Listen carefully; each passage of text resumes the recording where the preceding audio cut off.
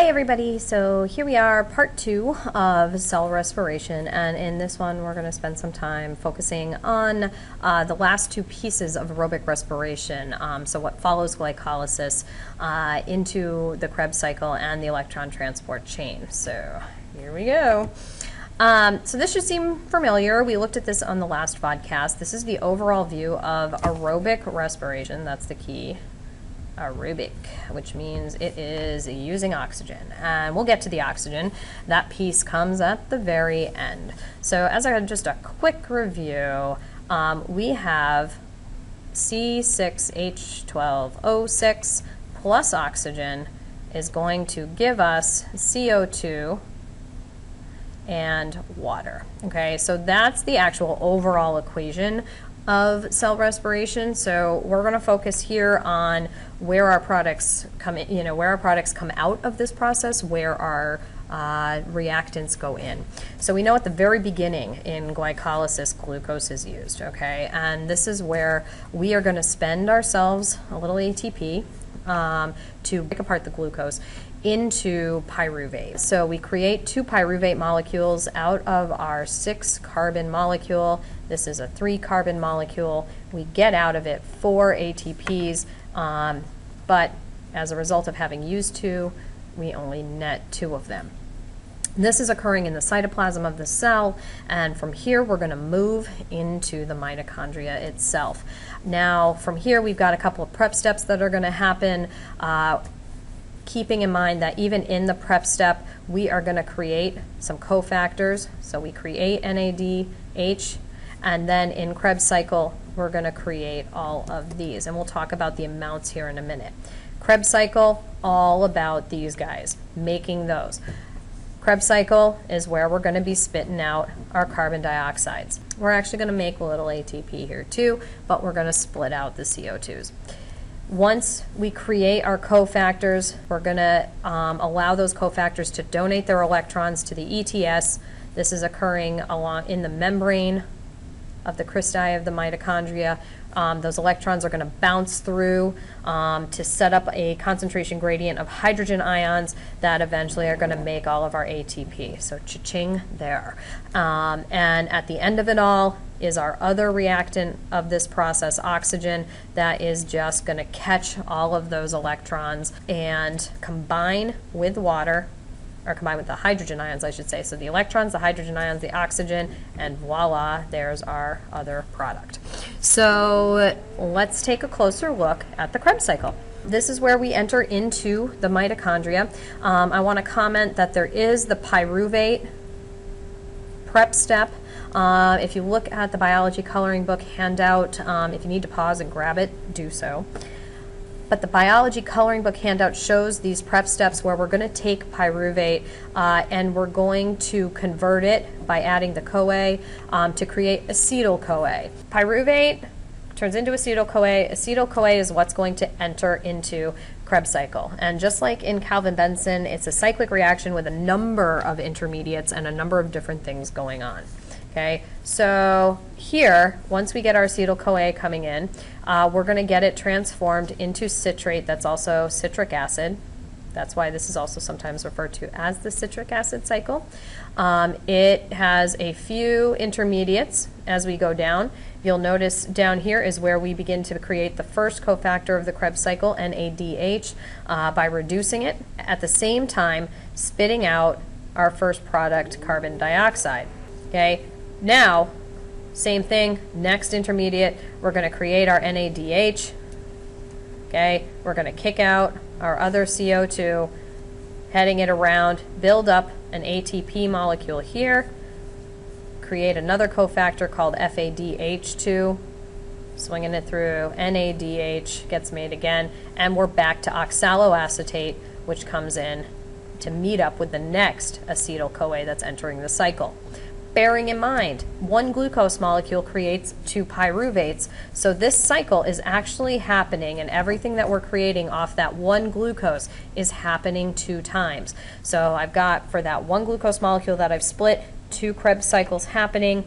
All of what you're seeing here is actually being doubled. Okay, so I'm going to wrap this all up at the end, so if you're not. Okay, so take a quick peek. You also have a lovely um, diagram in chapter 8 of your textbook as well. Once we have created all of our cofactors, we're going to enter into the third and final piece of cell respiration, which is the electron transport system um, and ultimately electron transport phosphorylation. This is going to happen in the folds, in the membranes um, of the mitochondria. That's why there's all these folds going on on the inside. The more surface area of membrane we have, the more available proteins we have for this process. So these, these buggers here are just shoved throughout the membrane of the mitochondria. Once we get all of our NADHs here, and if you go back, you can see how many we had. So the NADHs are utilized here, okay?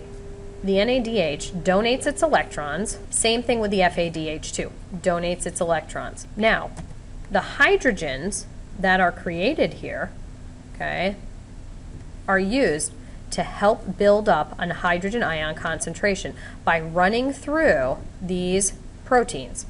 So they get pushed across the membrane onto the other side, building up a huge hydrogen, hydrogen ion. All right, so this hydrogen ion concentration is large. And why we're going to set up this huge concentration is because also throughout this entire membrane is ATP synthase. All right, and my ATP synthase requires hydrogen ions to pass through them in order to drive the production of ATP. So if I don't have that hydrogen ion concentration gradient, I won't create ATP as a result. So we build up this really, really nice concentration so that all of these hydrogen ions will flood through, okay? So here's the thing. What happens then to those hydrogen ions that come through? Okay, a number of things are going to happen to them. One, they may combine with the oxygen. Oxygen shows up really little here, but oxygen is a very important. Here's where that reactant plays its role. As the electrons are bing and binging banging through the um, system, at the end of it all, those spent electrons plus some hydrogen get attached together and we create water. Okay, so these electrons here, they are being used, and like I I mentioned, you know, oxygen's there ready to catch them. Um, and it combines with hydrogen ions as well, and voila, we get water. Um, and as a result, all these hydrogen ions, lots of ATP synthase, lots of ATP molecules being made. So to sum it all up, here we are. Glycolysis. Out in the cytoplasm, once again, we are going to put into the system one glucose molecule and two ATP molecules come in and we get through the intermediates of two PGALs, we ultimately create two pyruvate molecules. These two pyruvate molecules, um, in the production of that, also we get the creation of um, some NADH as well. Okay, and we get two of those. So we produce that. Then my pyruvates enter into the mitochondria, into the folds, and this is my prep step here. And here is where I'm going to create from those pyruvates acetyl-CoA.